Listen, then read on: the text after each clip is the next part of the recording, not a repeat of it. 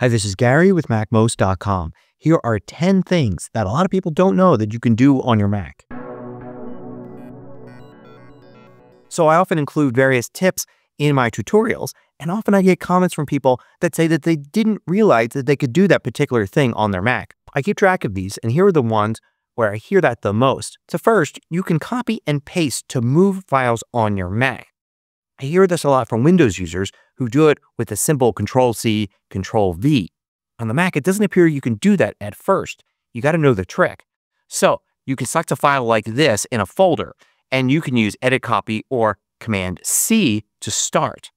Then you go somewhere else, like this. And now if you want to move it here, it doesn't look like you can do it. You go to Edit, and if you paste, it actually will make a copy of the item here. So the original is still in the other folder. Well, all you need to do is hold the Option key, and this changes to Move Item here. So it's not Command V, it's Option Command V to move. Now, sometimes when you copy text, like this text here on a web page, and then you're going to paste it into another app, like Mail or Pages or somewhere else, you'll get all of the formatting with the text. You can see this is bold here, and there's coloring and all of that. It even takes the font and the size. But if you want to paste without that styling, you could do it. Just look in the Edit menu, and you usually see here Paste and Match Style. This is the equivalent to making the text plain text and then pasting it. So you can see here, there's usually a keyboard shortcut. Often it's Option Shift Command V. Sometimes it's something different, so you want to check depending on the app. And when I paste in here, it retains the style that I was using here in this app and gets rid of all the other formatting. By the way, if you find these videos valuable, consider joining the more than 2,000 others that support MacMost at Patreon. You get exclusive content, course discounts, and more. You can read about it at macmost.com slash Patreon. Now, years ago, a common thing to do when you were working with a document was to use Save As to save a copy out as a different file name and continue working on that file. But years ago, Apple got rid of that. If you go to the File menu, there's no Save As. A substitute for that is duplicate, and you could certainly use duplicate to do this, but it works a little differently, leaving both documents open. However, most people don't know that you can simply hold the Option key down, and in almost all apps, duplicate changes to Save As, and you could use the old Save As command if you prefer that. I often hear from people that say that it's hard to preview an image in the Finder on the Mac before opening a file, that if they want to find an image, the icon's often too small, and it's cumbersome to open up an image, close it, and continue to do that. But you can use Quick Look to quickly preview images. All you need to do is select the image and hit the spacebar, and you get this Quick Look window here that gives you a preview. Press the spacebar again and it goes away.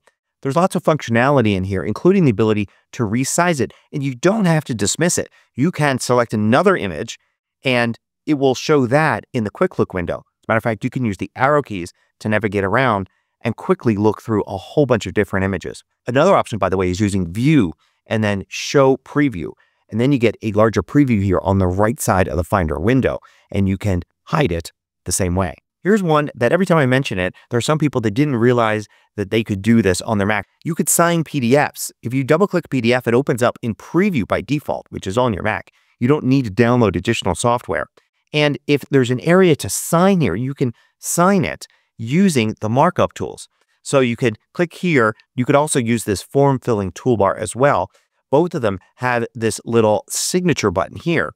Click that and you can create a new signature or use one you've already created. Then you click there and it puts your signature there. You can move it to where you want, resize it, and place it. And then you can save this and then send it along to whoever wanted the signature. You could also, of course, fill out the form by clicking on fields that are there. And if the field for some reason isn't there, if there's no way to fill it in, you could still use markup tools. Click here to add text and then resize this text to make it the appropriate size and color and place it where you want. If you need to often type the same thing over and over again, you can make a shortcut for it. So let's say you need to type this, and you're sick and tired of having to type this two or three times a day. So I'm going to copy it here and then go to System Settings and then look for Keyboard on the left. Then look for the button called Text Replacements. And here you could add text replacements to replace something you type with something else.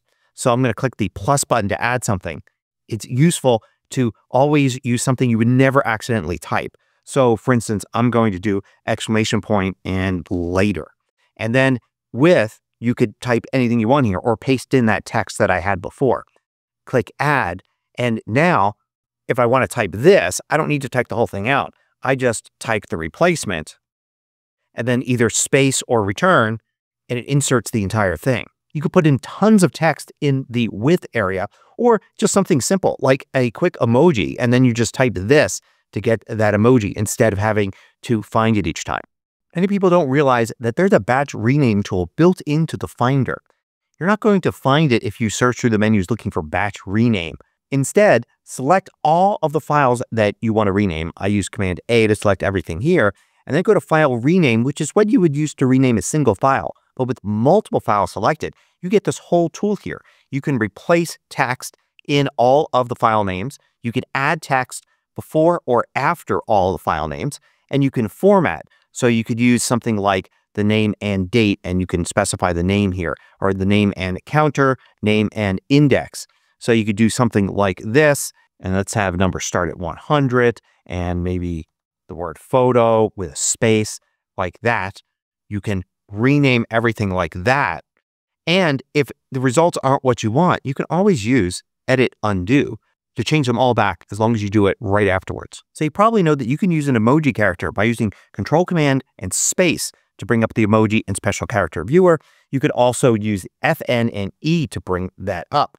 If you've got a word here that triggers an emoji, like this, for instance, using these will actually bring up this first, allowing you to choose an emoji based on that last word. But you can simply click here to go to the full view. Now, I'm amazed by how many people know that you can do this, but then they're browsing for their emoji or special character. Instead, use search here. You can search for a term and it will narrow things down or get to the specific one that you want. Sometimes you have to try various different terms. Like for instance, smile will produce different results than happy. And this works for more than just emoji characters. For instance, you need an arrow, search for arrows, and it comes up with all sorts of different arrow characters that you can use. If you want to control exactly what's shown here, click here and then use this button that's at the end of this list at the bottom. And then you go into the character viewer.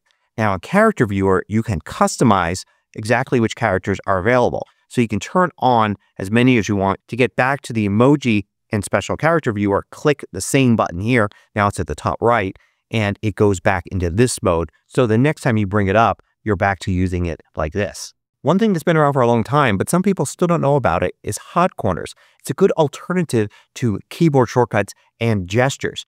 Go to the Apple menu and then System Settings, then go to Desktop and Dock, and at the bottom, it's a button called Hot Corners. Now you can assign a special command to any corner of your screen. So let's use the top right corner. You could set it to any one of these, like Activate Mission Control or a Launchpad or Lock the Screen, which is very useful. I'll set it to Launchpad, and now when I move my pointer to the top right corner, it brings up Launchpad. If you find you trigger it too easily, you can actually assign one of these while holding a modifier key like the Command, Option, Control, or Shift key.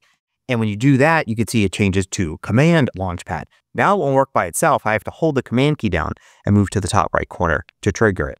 And finally, I'll end with what might be the best one of them all, Universal Clipboard. If you've got a Mac and say an iPhone or an iPad or a second Mac, you can copy and paste between all your devices effortlessly. It just works. There are some requirements. So you may want to check those out if it's not working for you. But for instance, I'm going to copy some text here on my iPhone. And then I'm going to go on my Mac and paste. And you'll see it pastes exactly what I copied. And it works the other way as well. It works with images as well. So here I'm going to copy a photo on my iPhone and then I'm going to paste here on my Mac, and you can see it paste that image. I don't have to mess with transferring the file or anything like that. Just copy and paste from one to the other. So these are not only things that people are often surprised that they can do on their Mac, but they're all also very useful. Thanks for watching. If you liked this video, click the thumbs up button below to let me know. I publish new tutorials each weekday hit the subscribe button so you don't miss out.